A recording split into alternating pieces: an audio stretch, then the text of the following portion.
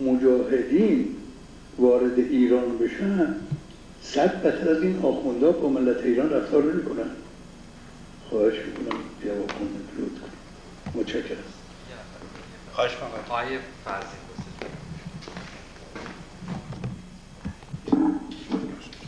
خب بسیار ما لذت بردیم از بحث های مختلفی که کردیم. منتاش من فکر می‌کنم امشب این بحث راجع به استعمار و تروریسم فکر می‌کنم یه نوع سیستماتیک.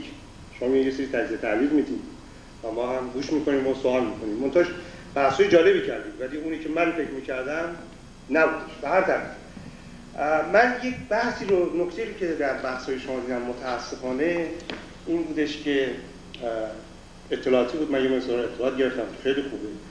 منتش نکته رو که دیدم دوباره این توری توته دوباره من این توری توته رو دیدم از برای مدتی. ما تونستیم این چندین سال بحث کنیم که توری توته رو باید کنار گذاشت یه مقدار اشکال در مسائل فرهنگی خود ما هست.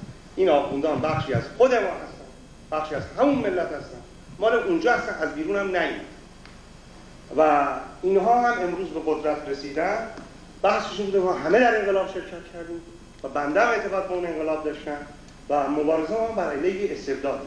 من یک خطی دیدم که یه دفعه رضا شاه و ارزم حضور دکتر مصدق و اینا با همدیگه در یک خط قرار گرفتن.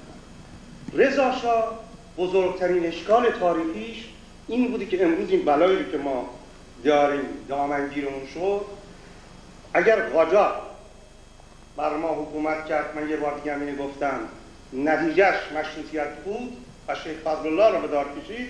نتیجه سلسله پهلوی چی بود؟ آخون بود.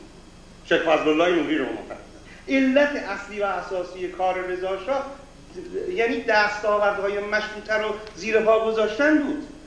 قوانین اساسی رو زیر پا گذاشتن بود. این که دانشگاهی ساخت درش شک نکنید. امروز هم یه عده از ایران میان میگن آقا اینا دهات ها رو آباد کردن. هر چی دهاتی لوله کشی کردن گاز کشی کردن تمام اون استراکچر مهمه. استراکچر کجاست در جایی که فضای با و آزاد و اندیشه سیاسی نباشه و نظرات مختلف نباشه یه دفعه محمد رضا شاه بره بگه آقا من فکر می‌کنم این صد اینجوری بسازیم و یه آدم مهندسی جرئت نکنه بگه آقا نه صد اینجوری ساختیم شما که نباید در همه چی هزار نظر بکنید مملکت به اینجا کشیده میشه.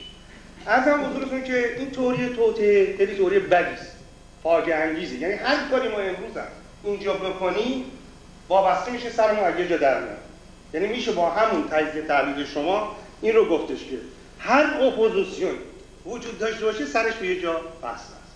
حالا سر صداهای در ایران توسط یه سری آدم های بسیار به نظر من مبارز و اندیشمند و خردگرا تو اون شرایط صحبت هایی می‌کنن. ما بگیم آقا این هم عامل و باعث و بانیش از یه جایی دیگه این باعث میشه که ما هیچ کاری رو نتونیم بکنیم. یعنی علا رغم نیت به نظر من نیت خوب شما و نیت سالم شما نوع بحثی رو که وجود آوردید یه نوع سوء سوء تعبیر رو وجود میاره. در من حداقل این رو به وجود آورد. و شما نگاه بکنید می‌بینید که آخوندهایی که امروز در ایران هستن آدمهایی که امروز در ایران وجود دارن اینها یک نوع تفکری دارن که این تفکرشون قدر قدرتیه یعنی مکیوالیسم رو اینا به صورت درست و اساسیش آنچه که پاور باشه چیز کردن. یعنی دنبالش بودن. قدرت یعنی همه چیز رو برای اینا توجیه می‌کنن شما چون مسائل رو به صورت به نظر من روزنامه نگاری یعنی حرفه روزنامه ای من اینجوری به اسمش نگاه کردیم اینا ای کاش شما می اومدید مثلا آخوندهایی که امروز فرزندانشون که اینا میلیونرهای ایران هستن تایکونهای ایران امروز هستن. که اینا پولهای بسیار کلانی میارن کاش شما می‌رفتید دنبال این قضیه. چون ایرونی ها حساسیت دارن. راجع به این که لیستی بیرون بیاد که ببینید کی کجا این پولا رو چجوری آورده توسط چی. ای کاش شما دنبال این قضیه می‌رفتید و ترورها رو هم. واقعا به اینجا ربطش می‌دادید چون من می‌دونم یه عده از این آخوندا بچه های امروزه در ارواین و نمی‌دونم سنکلمنتو اینا صاحب خونه های بسیار گران قیمت و بنزهای بسیار گران قیمت یعنی اگر می‌خواستید به صورت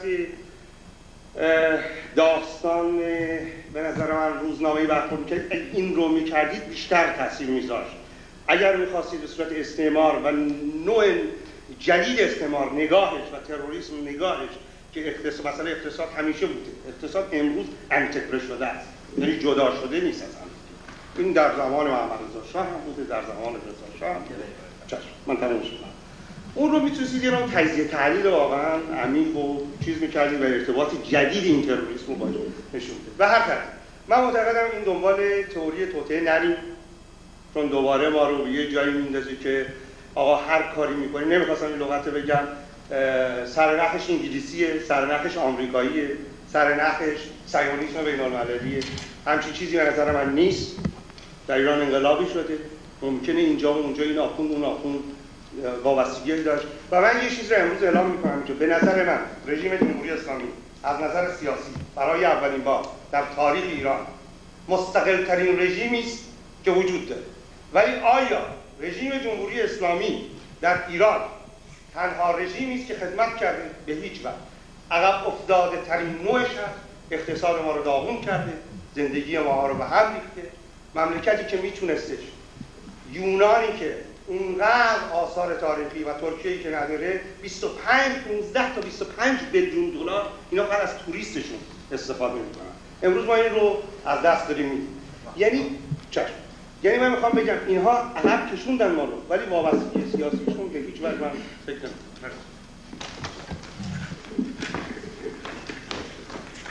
عزیزیان عزیز گل اول عدم همبستگی نه تنها مشروط خواهم بلکه عدم همبستگی ملت ایران بوده است و هست که ما بیچاره و بدبخت هستیم.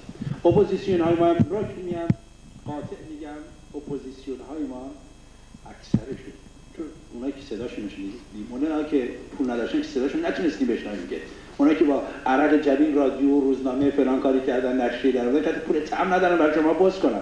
اونا حرفشون اونهایی که تلاش هایی کردن اپوزیسیون های قلابی همه وابسته بودن. اپوزیسیون قلابی وابسته تا موقعی که پول می‌رسه هست وقتی پول نمی‌رسه تموم میشه. و بعد برای همینی که ملت ایران هم نمی‌تونه بهش اطمینان و اعتماد بکنه.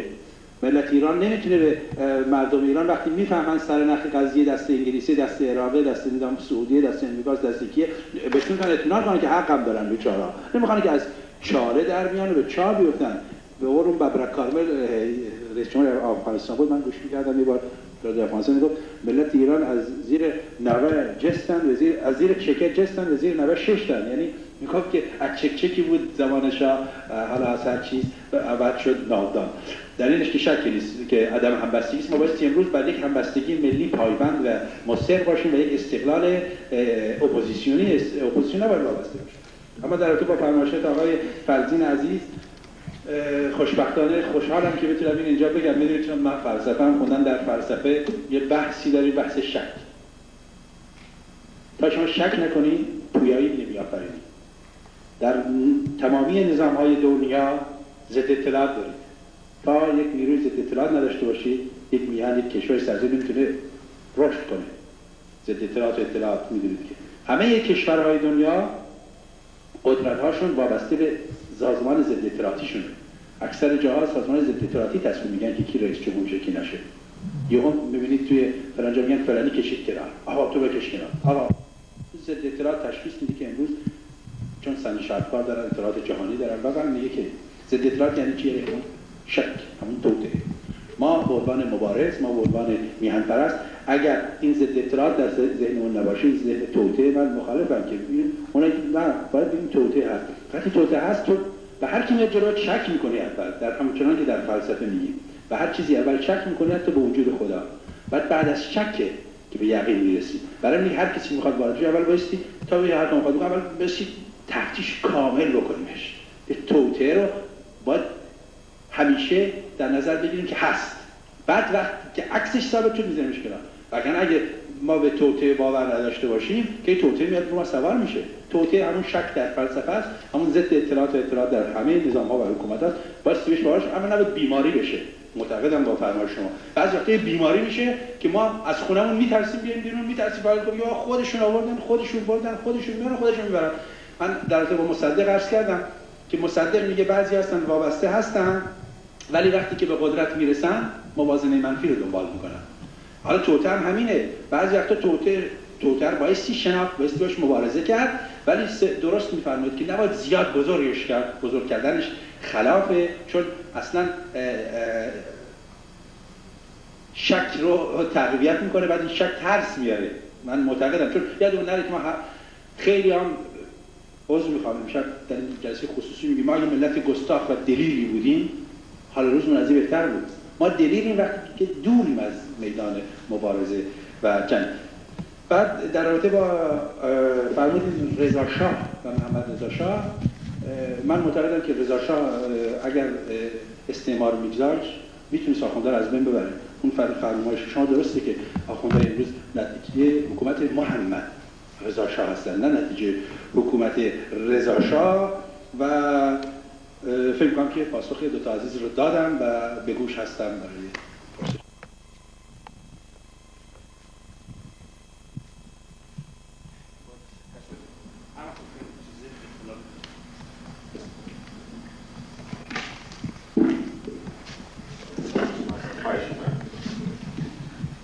از شما. بخش از صحبت من آقای فرزین انجام داده ولی من یه نکته هم در رابطه با مقایسه که آقای خط مصدق با رضا شاه یکسان گرفت.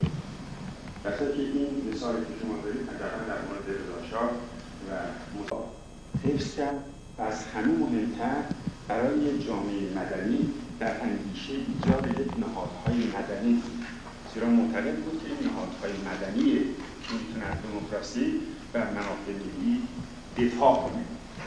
و تمام همینش بر این اساس بودش که این نهادها رو به وجود بیاره و همین اساس بود که به حتی به احزاب مخالف اینقدر میدان داد برای مبارزه. ولی درست رضا عکسی می‌کرد. و طبیعتا هم باید پایان اونچنانی در انتظارش این مقایسه رو واقعا من نفهمیدم که چرا اصولا مطرح شد این به هیچ وجه با اصل واقعیت تطبیق نمی‌کنه. توی عدد بسیار ساده پولی که به صلاح جمهوری اسلامی به دست میاره از این راه در رابطه با فروش حجم نفتی که میفروشه به هیچ وجه این عدد رو نشون نمیده. ممکن است قیمت بین المللی احیانا درصد بسیار کمی ارزان بفروشه ولی اصولا اقتصادش اجازه نمیده که امروز نفت و 9 دلار بفروشه بحرانش بسیار شدیدتر میشه و حجم بدهی خارجیش اضافه میشه. ولی در تمام آماری که امروز هست تمام بدهی خارجیش پرداخت شده حتی پرداخت اضافی داره با کل بحرانی هم که هنوز در داخل کشور هنوز وجود داره. از طرف اطلاعاتی که ما میدیم باید اطلاعات باید کاملا دقیق علمی و از منابع موثق باشه.